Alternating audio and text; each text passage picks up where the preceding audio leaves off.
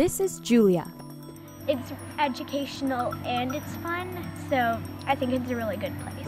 She's one of the many children learning the importance of being active in an outdoor education center. It's one of the numerous retreats now popping up in Canada for children to get a fundamental understanding of the natural world and to break the cycle of sedentary lifestyles. Children are spending increasing hours in front of a screen, a worry many educators deem too important to ignore. We know that childhood obesity is on the rise. These places claim to be the cure for a life lived in front of a screen, but are they truly successful in changing the perspective of a child?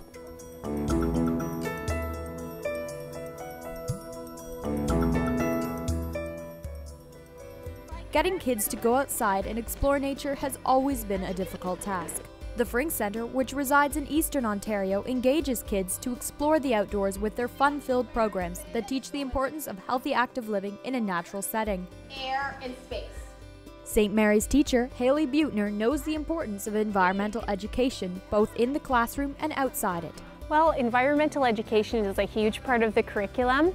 We kind of start with uh, our own topics of study. So we begin with habitats and we talk about where animals live and then we talk about how to take care of those things. And we come to the Frink Center because it helps them get a better understanding of why we care about the environment and what we can do to help.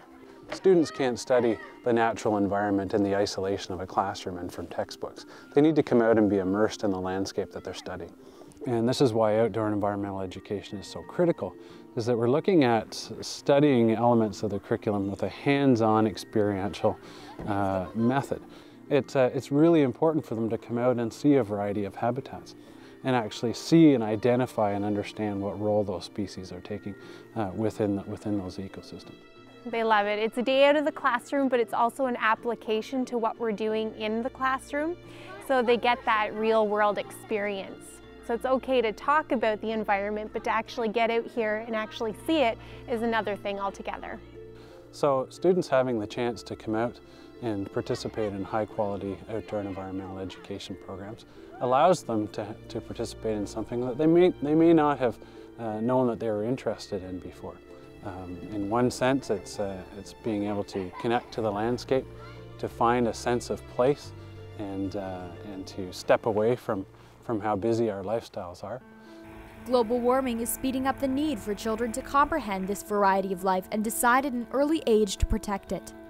Educators are trying to implement environmental topics into the classroom, but are students grasping the concept of environmental sustainability? It's very important that they become aware of their surroundings and aware of taking care of our environment because ultimately this is, this is their space as well. So we need to take care of our animals. They're all part of the food chain. And if we don't start here, then we're going to be in trouble. One of Haley's students, Julia, is very enthusiastic about the environment and what the Frink Center has to offer. I love the Frink Center. It's really fun. Like, you go on hikes and you play games and you sometimes you make crafts and it's educational and it's fun. So i think it's a really good place. And I think that we've done a great job in implementing a lot of those things in the classrooms and children are becoming a lot more aware and they're taking on a stewardship of their environment.